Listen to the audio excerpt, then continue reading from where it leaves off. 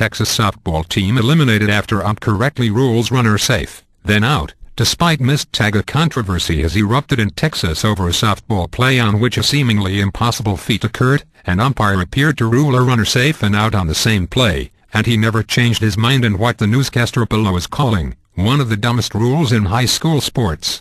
As reported by the Dallas Morning News, Texas powerhouse softball program Plano, Texas, East High reached the Class 5A Region I semifinals thanks to a narrow, 3-2, 8-inning victory against area rival Flower Mound, Texas, High. Yet Plano East, which has since moved on to the regional finals, almost never even reached extra innings because it appeared that Flower Mound won the matchup with a walk-off hit, going so far as to celebrate the monumental victory until Plano East catcher K.K. Stevens walked up and tagged out Flower Mound's Kelly Powell, who thought she had just scored the winning run.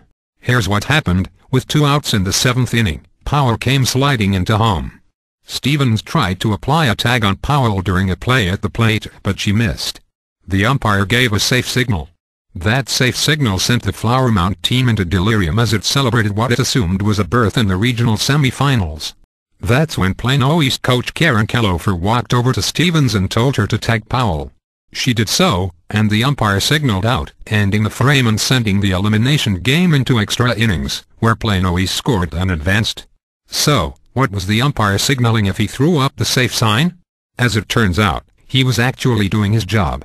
According to Article 9 of the National High School Federation's baseball rulebook, if a runner misses the plate, an umpire is instructed to hesitate slightly.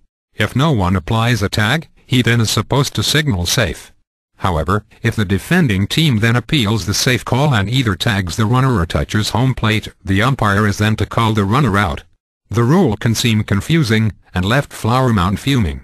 Still, by the letter of the law, the umpire got the call right, assuming that Powell had actually missed the plate. That in itself could be a matter of contention, but in this case there happens to be video of the play in question, and it appears the umpire ruled correctly.